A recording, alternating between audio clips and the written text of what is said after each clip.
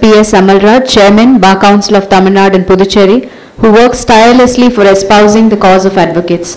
We now welcome him to deliver the special address. My Lord, the Honorable Chief Justice of India, Honorable Chief Minister of Tamil Nadu, Honorable Mr. Justice V. Ramasubramaniam, Judge Supreme Court, Honorable Mr. Justice M. M. Sudaresh, Judge Supreme Court, Honorable Chief Justice of the Madras High Court, Honorable Law Minister, Learned Advocate General,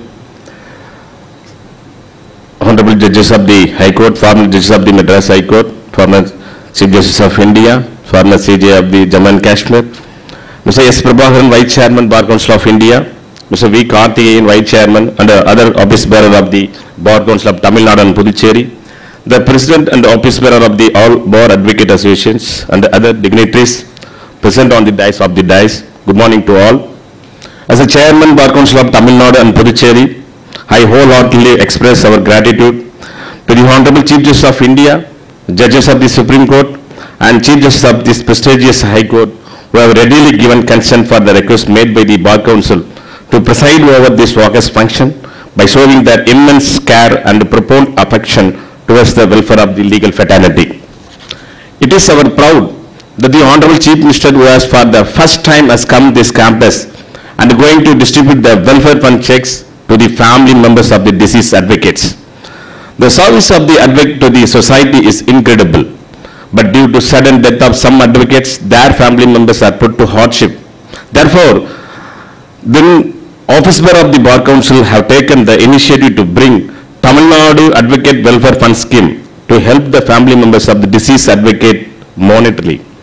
And the Tamil Nadu government has also consented for the same. The Tamil Nadu Advocate Welfare Fund Act was enacted in 1987 and implemented in 1990 by providing the death benefit of rupees 50,000.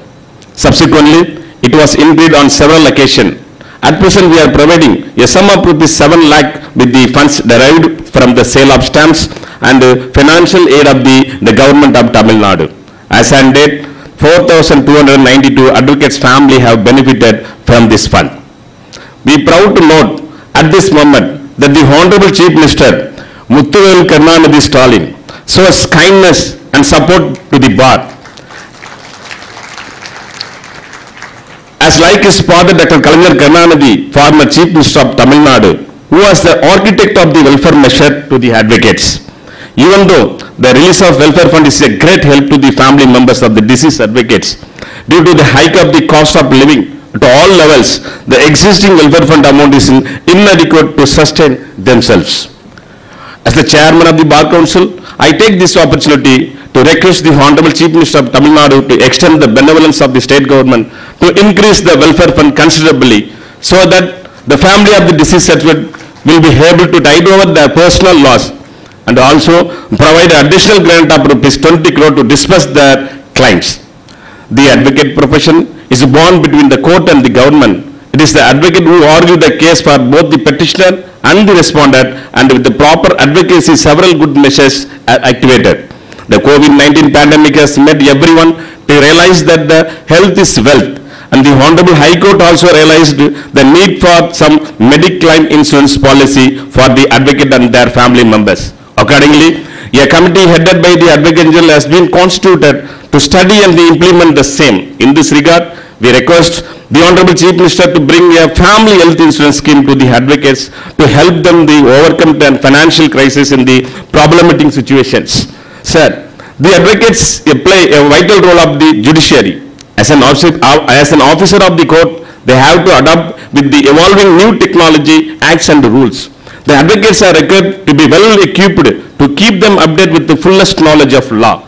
When we took oath as the office bearer of the Bar Council in this auditorium, the Honorable Judges Supreme Court has felt the need of continuous legal education programs with the good libraries and insisted to establish law academy in the state of Tamil Nadu like other states to help the advocates to improve their legal acumen.